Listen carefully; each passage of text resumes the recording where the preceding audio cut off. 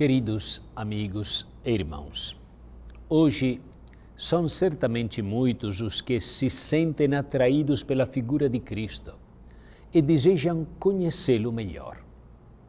Pressentem que Ele é a resposta a muitas das suas inquietações pessoais. Mas quem é Ele realmente? Como é possível que alguém que viveu na Terra há tantos anos tenha algo a ver comigo hoje? O Evangelho deste domingo, 21, capítulo 16 de Mateus, versículos de 13 a 20, é, neste Evangelho vemos representadas, de certo modo, duas formas diferentes de conhecer Cristo. Primeiro, consistiria num conhecimento externo, caracterizado pela opinião corrente. A pergunta de Jesus, quem dizem os homens quem é o filho do homem? Os discípulos respondem. Uns dizem que é João Batista, outros que é Elias e outros que é Jeremias ou algum dos profetas. Isto é, considera-se Cristo como mais um personagem religioso junto aos que já são conhecidos. Depois, dirigindo-se pessoalmente aos discípulos, Jesus pergunta-lhes: E vós, quem dizeis que eu sou? Pedro responde formulando a primeira confissão de fé que nós bem conhecemos: Tu és o Messias, o Filho do Deus vivo. A fé vai mais longe que os simples dados empíricos ou históricos.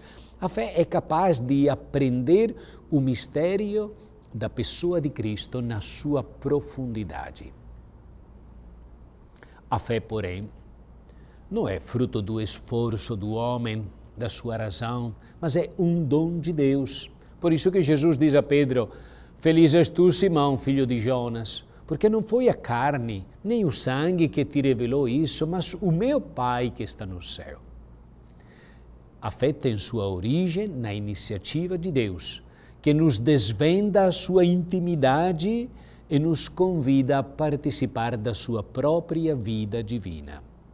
A fé não se limita a proporcionar alguma informação sobre a identidade de Cristo mas supõe uma relação pessoal com Ele.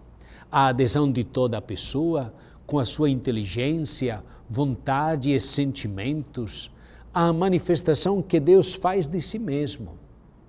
Deste modo, a pergunta de Jesus, e vós quem dizeis que eu sou? No fundo, está impelindo os discípulos a tomarem uma decisão pessoal em relação a Ele. Fé e seguimento de Cristo estão intimamente relacionados. E dado que supõe seguir o Mestre, a fé tem que se consolidar e crescer, tornar-se mais profunda e madura, à medida que se intensifica e fortalece a relação com Jesus, a intimidade com Ele. Também Pedro, e os outros apóstolos tiveram que avançar por este caminho, até que o encontro com o Senhor ressuscitado lhes abriu os olhos para uma fé plena. E Cristo hoje se dirige também a nós, com a mesma pergunta que fez aos apóstolos: E vós quem dizeis que eu sou? Nós precisamos responder-lhe com generosidade e coragem e dizer-lhe: Jesus, eu sei que tu és o Filho de Deus que deste a tua vida por mim. Eu quero seguir-te fielmente e deixar-me guiar pela tua palavra. Tu conheces-me e amas-me. Eu confio em ti e coloco nas tuas mãos a minha vida inteira. Quero que sejas a força que me sustente, a alegria que nunca me abandone na sua resposta à confissão de Pedro, Jesus fala da sua igreja. Também eu te digo, tu és Pedro, e sobre esta pedra edificarei a minha igreja. Que significa isto? Jesus constrói a igreja sobre a rocha da fé de Pedro, que confessa a divindade de Cristo. Sim, a Igreja não é uma simples instituição humana, como outra qualquer, mas está intimamente unida a Deus.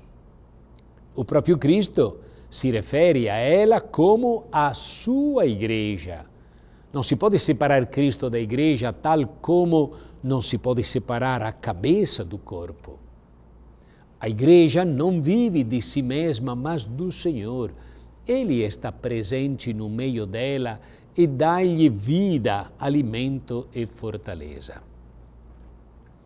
Queridos irmãos e irmãs, precisamos fortalecer esta fé que nos tem sido transmitida desde os apóstolos, colocando Cristo, Filho de Deus, no centro da nossa vida. Mas eu queria aqui recordar que seguir Jesus na fé é caminhar com Ele na comunhão da igreja. Não se pode sozinho seguir Jesus. Quem cede à tentação de seguir por conta sua ou de viver a fé segundo a mentalidade individualista, que agora está predominando na sociedade, corre o risco de nunca encontrar Jesus Cristo ou de acabar seguindo uma imagem falsa dele. Ter fé é apoiar-se na fé dos nossos irmãos e fazer com que a minha fé sirva também de apoio para a fé dos outros. Para tanto, precisamos amar a Igreja, que nos gerou na fé, que nos ajudou a conhecer melhor o Cristo, que nos fez descobrir a beleza do seu amor.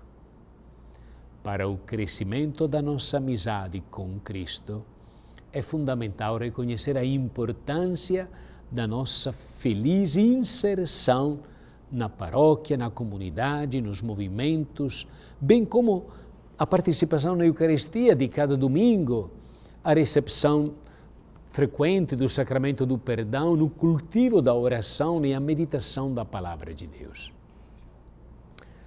E desta amizade com Jesus nascerá também o impulso que leva a dar testemunho da fé nos mais diversos ambientes, incluindo nos lugares onde prevalece a rejeição ou a indiferença.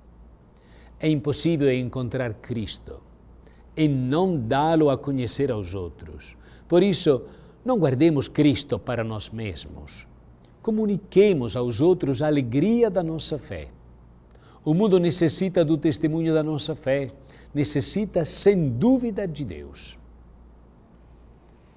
que todos na igreja, pastores e fiéis, nos aproximemos de cada vez mais do Senhor para crescermos em santidade de vida e darmos assim um testemunho bonito, eficaz de que Jesus Cristo é verdadeiramente o Filho de Deus, o Salvador de todos os homens é a fonte viva da sua esperança. Ó Jesus, tu para muitos és apenas um homem bom, justo, generoso, que escutaste os apelos de Deus e que te esforçaste a ser um sinal vivo dele, como tantos outros homens antes de ti. Mas para nós, teus discípulos, que professamos a mesma fé de Pedro, tu és o Cristo, o Filho de Deus vivo Tu és o libertador, o esperado por Israel, o enviado por Deus para libertar o seu povo e para lhe oferecer a salvação definitiva. No entanto, para nós, membros da comunidade do Reino, tu não és apenas o Messias, és também o Filho de Deus, pois tendes uma relação particular com o Pai, que te elegeu e te confiou uma missão tu, Jesus, Filho de Deus, recebes vida do Pai e vives em total comunhão com Ele, numa relação de profunda intimidade, que Ele, teu Pai, te confiou uma missão única para a salvação dos homens. E para que seja possível a Pedro testemunhar que tu és o Messias, Filho de Deus, e edificar a comunidade do reino, tu prometes-lhes as chaves do reino dos céus e o poder de ligar e desligar. Assim tu destes aos apóstolo, ao apóstolo Pedro esta responsabilidade para interpretar as tuas palavras e acolher ou não novos membros na comunidade dos discípulos do Reino. Conscientes que tu chamas a todos a integrar a comunidade do Reino, nós rezamos para que todos estejam dispostos a aderir às tuas propostas para serem admitidos na tua família. E que Deus abençoe a todos, em nome do Pai, e do Filho e do Espírito Santo. Amém.